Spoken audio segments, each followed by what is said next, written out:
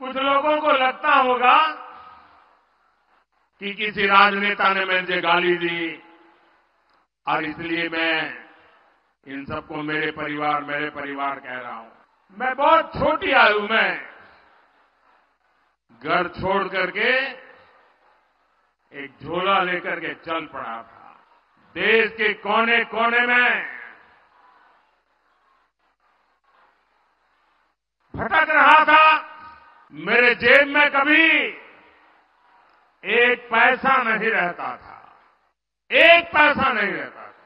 कोई न माँ बाप कोई बहन, पता नहीं क्या कारण। वो मुझे पूछ लेते थे कि भाई, बेटे, कुछ खाना वाना खाए हो कि नहीं खाए हो? कुछ लोगों को लगता होगा कि किसी राजनेता ने मुझे गाली दी। और इसलिए मैं इन सबको मेरे परिवार मेरे परिवार कह रहा हूँ। लेकिन मैं सच्चाई बताना चाहता हूँ। मैं बहुत छोटी आयु में घर छोड़ करके एक झोला लेकर के चल पड़ा था।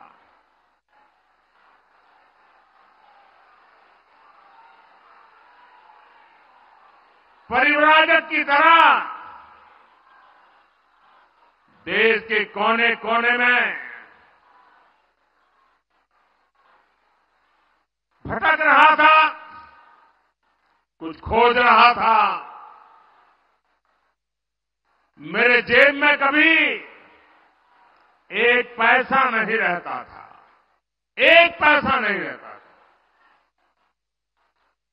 लेकिन आपको जान करके और देशवासियों को जान करके गर्व होगा। मेरा देश कैसा है? मेरे देश की माताएँ बहनें कैसी है? मेरे देश का हर परिवार कैसा है? जेब में एक पैसा नहीं होता था, न भाषा जानता था, कंधे पर एक झोला लटकता था और मैं देखता था कोई न कोई परिवार, कोई न माँ बाप कोई बहन,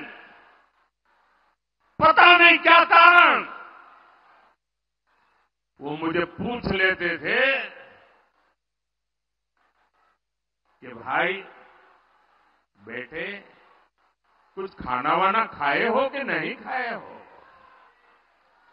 और मैं आज देशवासियों को बता रहा हूँ सालों तक मैं परिवार देख रहा हूँ। कंधे पर झोला लेके घूमता रहा हूँ।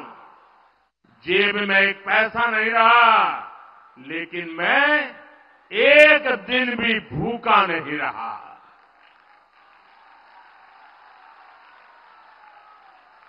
और इसलिए मैं कहता हूँ,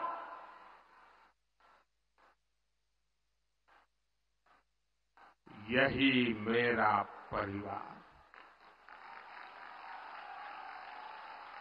140 करोड़ देशवासी, ये मेरा परिवार।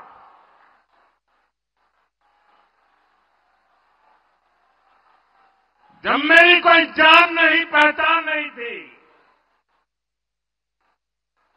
कंधे पर जोला लेकर के भटकता हुआ एक नौजवान,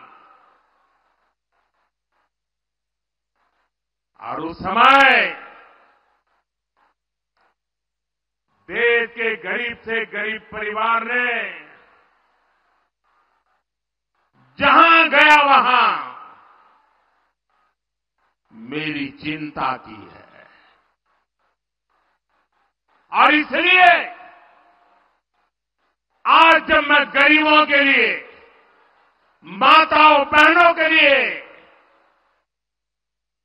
जी जान से कुछ करने के लिए लगा हुआ हूँ समर्पित भाव से लगा हुआ हूँ।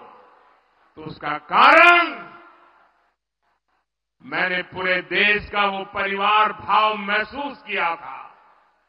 आज मैं उसका कर्ज चुका रहा हूँ।